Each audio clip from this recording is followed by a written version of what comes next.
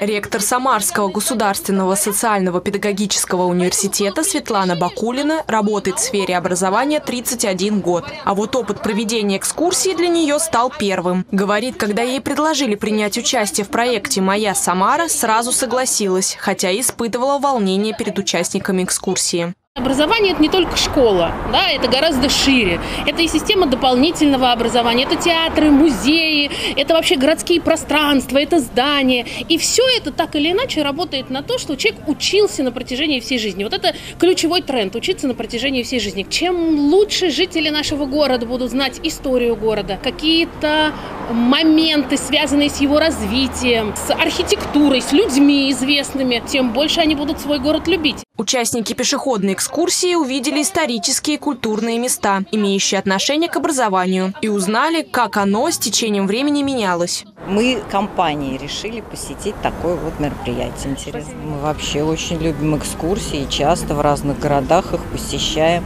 А, иногда, вы знаете, иногда для того, чтобы узнать город или что-то интересное узнать, его нужно, как мы говорим, сделать ногами. То есть, если вы едете на автобусе, это одно. А вот когда вы идете пешеходную экскурсию, берете совершенно другое. Именно поэтому мы вот здесь, собственно, и принимаем участие. Экскурсия была организована в рамках проекта «Моя Самара» по инициативе городского департамента культуры и молодежной политики. Августина Охременко, Сергей Баскин. События.